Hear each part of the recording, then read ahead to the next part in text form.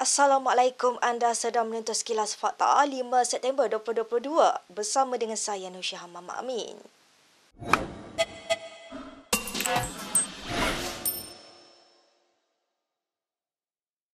Bekas Perdana Menteri Najib Razak akan kekal sebagai ahli Parlimen Pekan buat masa ini, kata Speaker Dewan Rakyat Azhar Azizan Harun. Katanya Najib telah memfalkan petisyen pengampunan pada 2 September lalu, iaitu dalam tempoh 14 hari selepas hukumannya seperti yang termaktub dalam perlembagaan. Sehubungan itu kata Azhar, Najib hanya akan kehilangan jawatannya sebagai ahli parlimen jika petisyen untuk pengampunannya ditolak.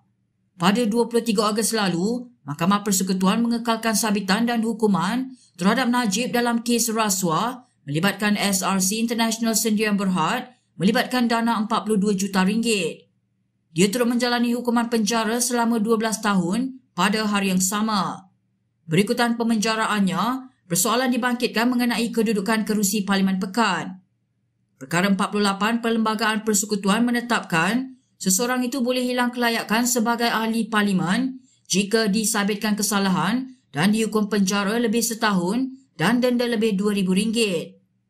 Jika petisyen untuk pengampunan difalkan dalam tempoh 14 hari dari sabitan dan hukuman atau selepas pelupusan mana-mana rayuan atau prosiding mahkamah berhubung sabitan dan hukuman, kehilangan kelayakan itu hanya berkuat kuasa apabila petisyen itu dilupuskan. Baik sementara itu anak sulung Najib Muhammad Nizar melihat wujudnya hikmah di sebalik hukuman penjara yang dikenakan terhadap ayahnya. Dia melihat perkara itu mempunyai persamaan dengan apa yang dilalui Nabi Yusuf dan tokoh anti-apartheid Nelson Mandela. Mungkin ini adalah cara Allah Taala untuk mengangkat darjat ayanda dengan lebih tinggi insya-Allah. Itulah yang berlaku kepada Nabi Yusuf alaihi salam yang dipenjarakan atas tuduhan palsu. Apabila bebas baginda diangkat sebagai menteri berkuasa lagi bijaksana di Mesir. Itulah yang berlaku kepada Nelson Mandela yang menentang kezaliman dasar apartheid.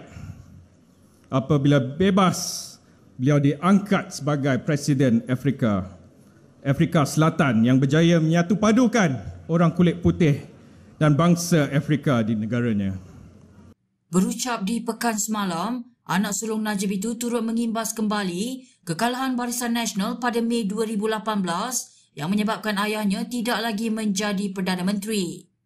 Jika kita mengimbau kembali peristiwa selepas 9 Mei 2018, ramai yang berpendapat kerja politik ayahanda sudah habis terkubur. Dengan izin dalam bahasa Inggeris, his career is politically finished, over.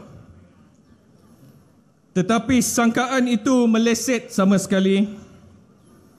Tidak ramai yang boleh bangkit semula selepas diaibkan satu dunia. Satu dunia tuan-tuan, bukan satu Malaysia, satu dunia dengan tekanan yang bertubi-tubi di mahkamah dengan tekanan daripada LHDN macam-macam tekanan yang dikenakan.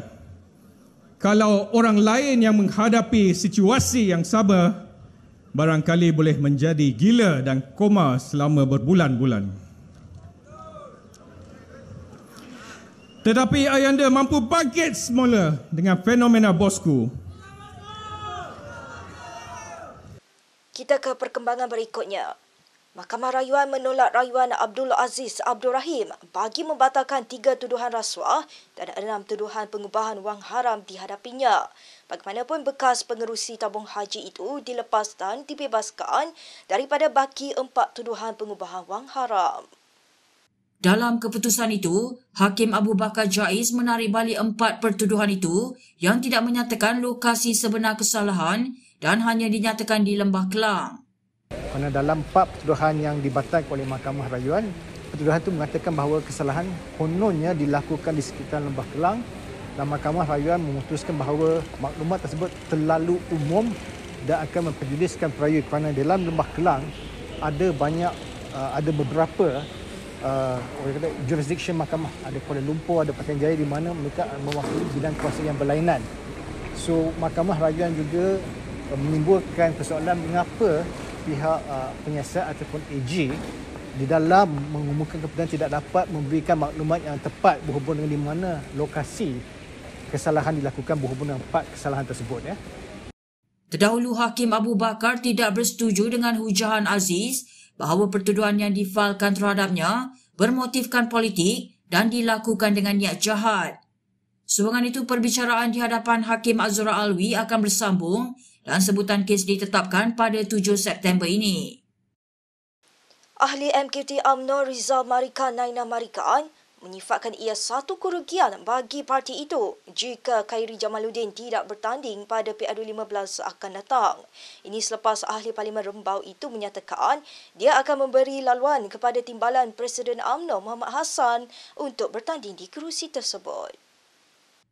Rizal yang juga Menteri Belia dan Sukan berkata, walaupun Khairi lantang dan sering memberi sudut pandang berbeza, dia juga memberi hujah-hujah bernas dalam mesyuarat kabinet.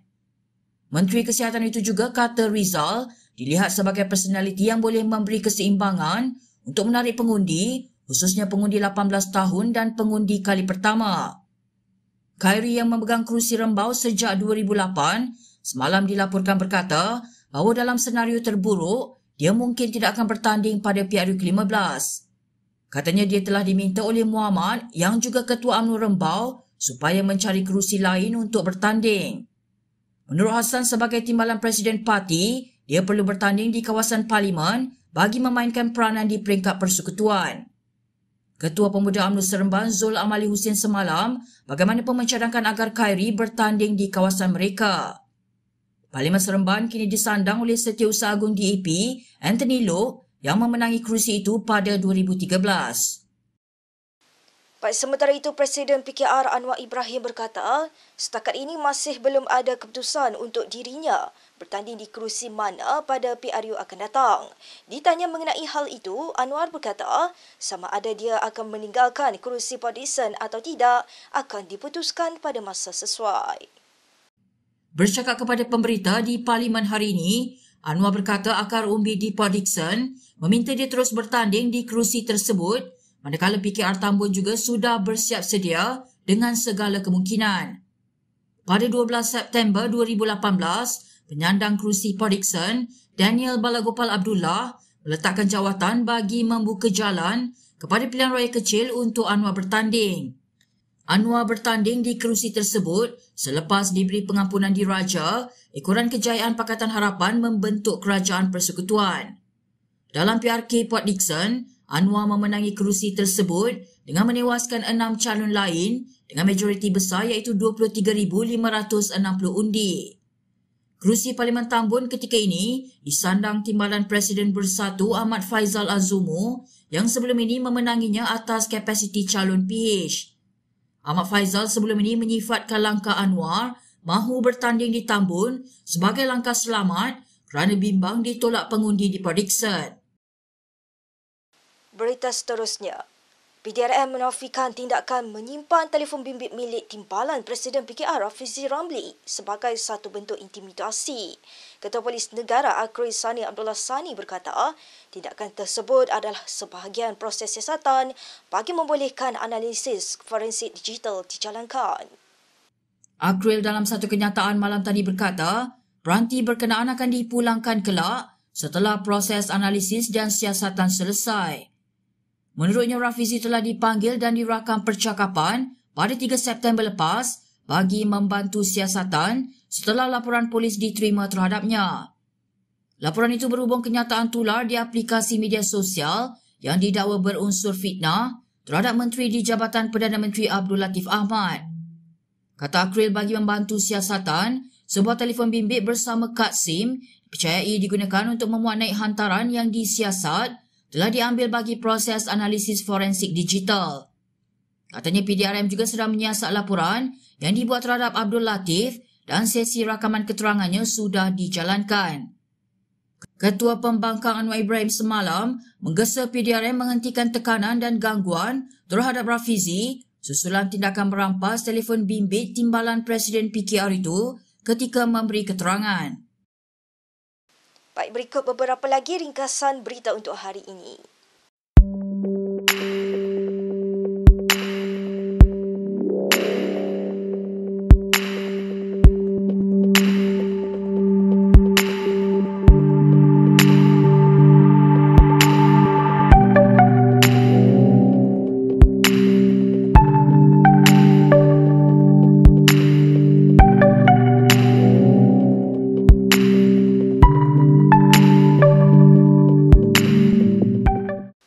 Demikian sahaja daripada saya, Nur Syah Mama Amin untuk Sekilas Fakta. Untuk lebih banyak berita, anda boleh melayari kinitv.com. Anda juga boleh mengikuti kami di Instagram, Twitter, YouTube dan Facebook. Salam hormat dan jumpa lagi.